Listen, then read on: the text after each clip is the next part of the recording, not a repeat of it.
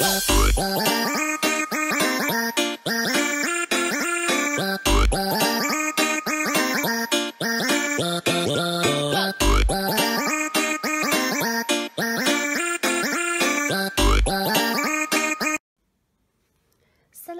Arkadaşlar. Bugün güneş sistemi ünitesini işleyeceğiz beraber. Peki güneş sistemi nedir? Ee, güneş sistemi deyince aklımıza ne geliyor? Önce buna bakacağız.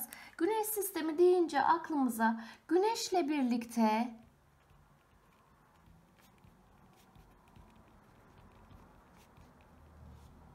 çevresinde dolanan gezegen,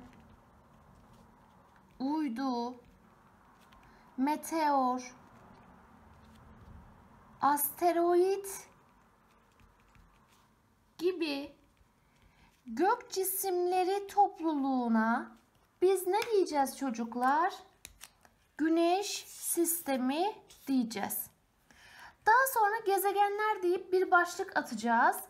Gezegenleri kendi arasında sınıflandıracağız. Karasal gezegenler ve gazsal gezegenler olarak. Ama öncelikle gezegenlere gelmeden önce güneş sistemine biraz daha e, ayrıntıya inecek olursak evrenin bir parçası olan güneş sistemi içerisinde gezegenler vardı, uydular vardı, meteorlar vardı, göktaşları vardı. E, yörüngede dolanan büyük kaya ve e, gaz küresine biz ne diyeceğiz? Gezegen adını vereceğiz. Güneş sistemi içerisinde kaç tane gezegen var? 8 adet gezegenimiz var. Bir e, parantez açalım. Güneş bir yıldızdı. Yıldızlar ısı ve ışık kaynağıydı. Her sistemde mutlaka bir yıldız bulunuyordu. Güneş sisteminin yıldızı güneştir.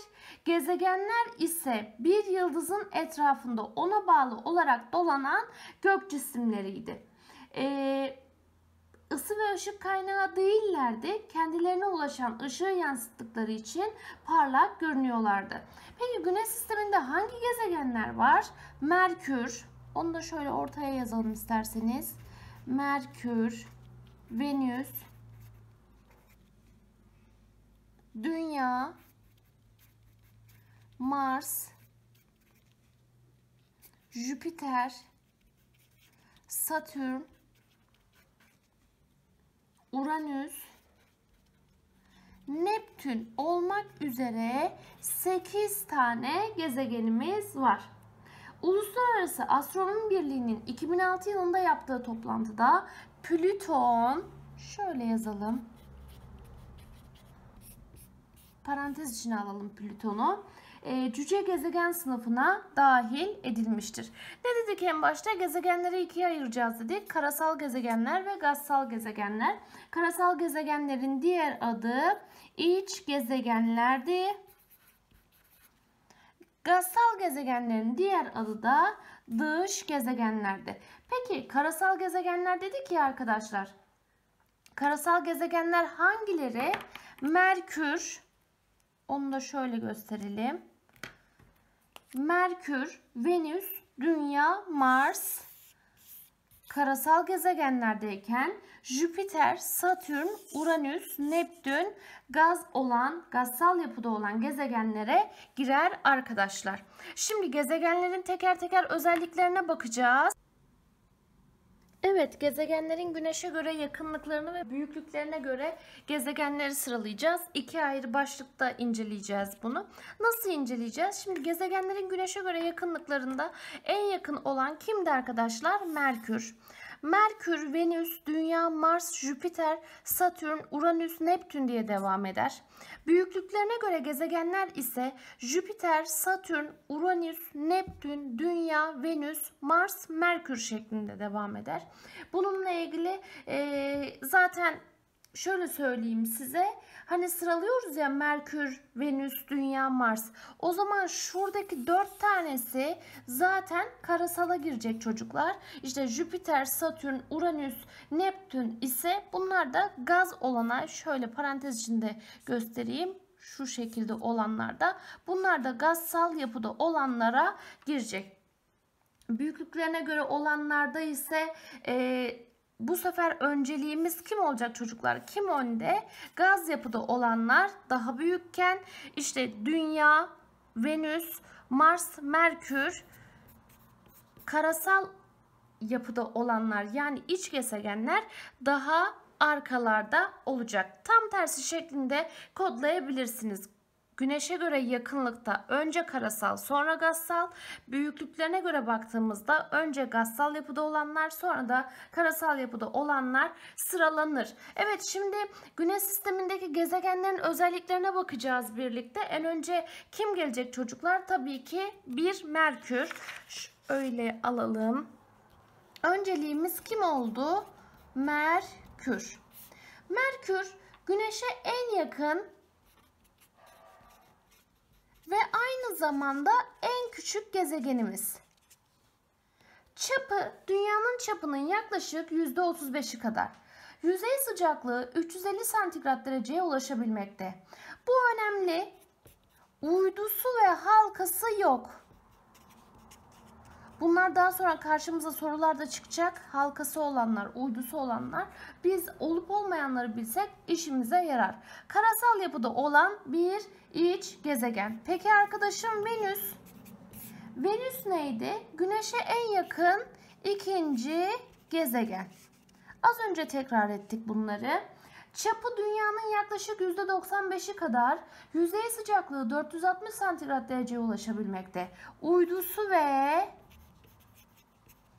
halkası yok. Halk arasında çoban yıldızı olarak bilinir. Karasal yapıda olan bir iç gezegenimizdir. Peki şöyle yapalım. Merkür, Venüs. Şimdi neye geldi sıra? Dünya.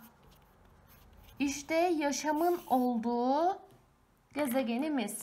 Güneşe en yakın üçüncü gezegen dedik. Dünyada ne vardı? Canlı yaşamının olduğunu biliyoruz. Peki yüzey sıcaklığı canlı yaşamı olduğu için oldukça uygundur. Doğal uydusu ay halkası yoktur. Karasal yapıda olan bir iç gezegendir. Şimdi son karasal gezegenlerden bir tane kaldı. O da Mars. Mars'ın özelliklerine bakalım arkadaşlar.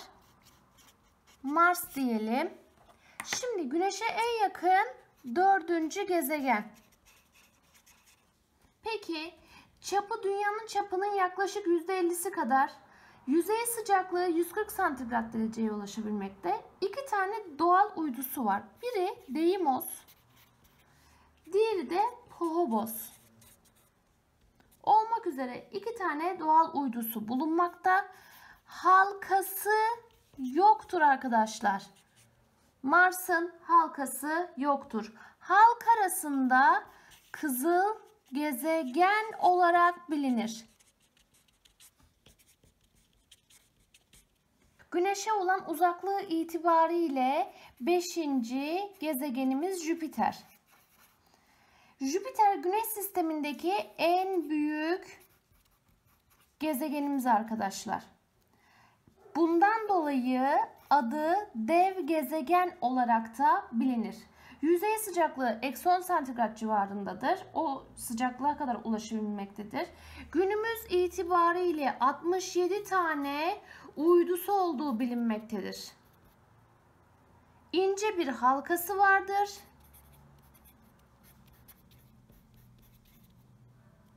Gaz yapıda olan dış gezegenlere girer. Evet şimdi Jüpiter'den sonra Satürn gelir. Güneşe olan uzaklığı itibariyle 6. gezegenimizdir. Çapı dünyanın çapının yaklaşık 10 katıdır. Yüzey sıcaklığı eksi 140 santigrat dereceye ulaşabilmektedir. 60'tan fazla uydu ve en bilinen uydusu Titan'dır.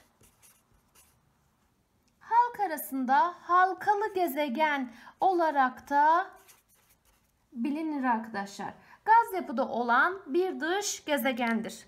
Peki Uranüs Güneşe olan uzaklığı itibariyle 7. gezegenimiz. Çapı dünyanın çapının 4 katı. Yüzey sıcaklığı eksi 195 santigrat dereceye ulaşabilmekte. 20'den fazla uydusu olduğu biliniyor günümüz itibariyle. Bunlardan bazıları Titania, Miranda, Ariel olduğu düşün söyleniyor, ifade ediliyor. Ee, halkası var. Yatay olarak dönen tek gezegen çocuklar.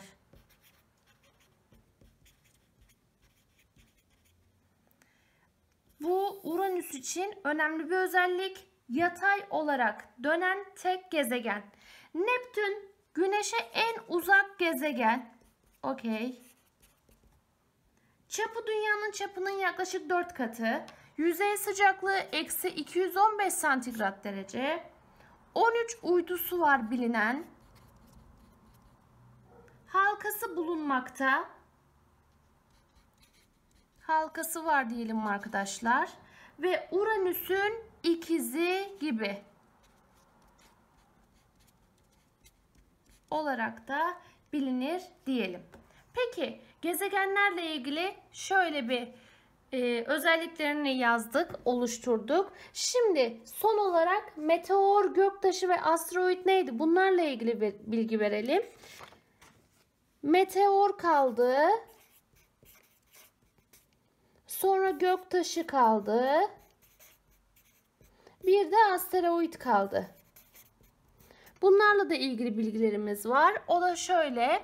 Uzaydan dünyanın atmosferine girerek sürtünme sonucu yanan taş parçalarına meteor denir. Atmosferde yok olmayan ve yeryüzüne ulaşan meteor parçalarına ise göktaşı adı verilir. Daha çok Mars ile Jüpiter arasında dolanan metal ya da kaya parçalarına ise asteroid adı verilir. Beni dinlediğiniz için teşekkür ederim. Bir fen dersinin daha sonuna geldik. Kendinize cici bakın.